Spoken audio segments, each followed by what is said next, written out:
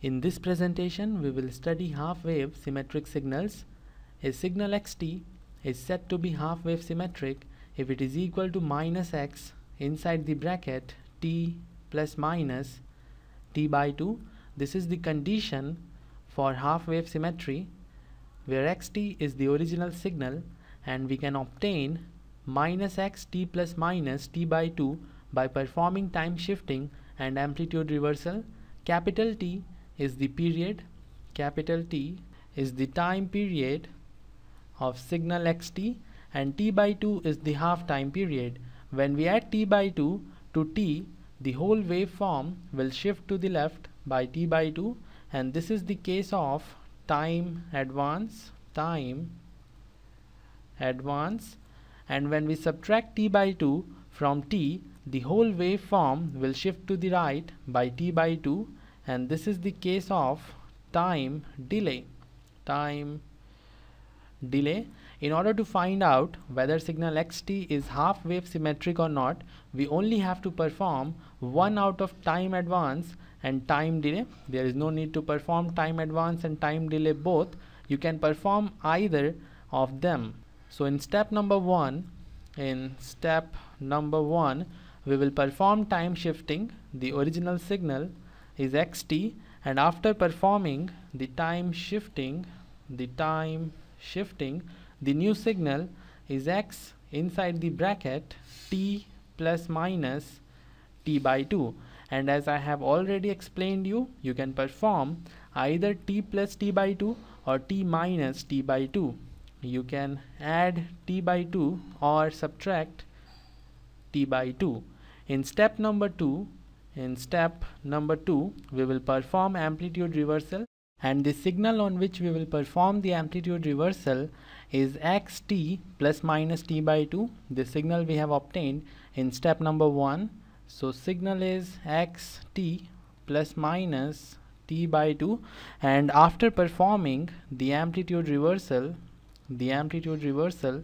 we have minus x t plus minus t by 2 and if this signal is same as xt we can say that signal xt is half wave symmetric signal.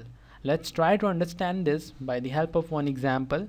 In this example in this example the original signal is xt this is the waveform of signal xt and in the second step we will perform time shifting.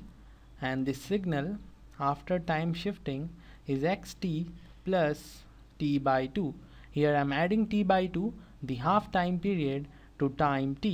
And if you see the waveform of signal xt you will find this is the fundamental time period of signal xt and if this is the fundamental time period this will be the half time period t by 2 in this case we have fundamental time period. You can also take other time periods which are not fundamental now we will perform the time shifting in which we will shift the signal to the left by t by 2.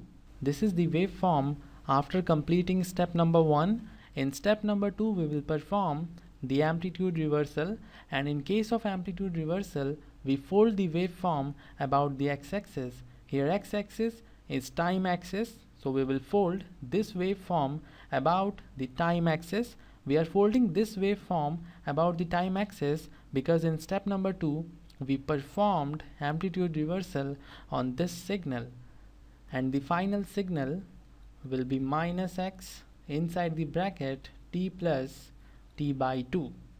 If you compare the waveform of signal minus x t plus t by 2 and waveform of signal xt you will find they are same so xt is equal to minus x t plus t pi 2 so the condition of half wave symmetry is satisfied in this case. So signal xt is a half wave symmetric signal.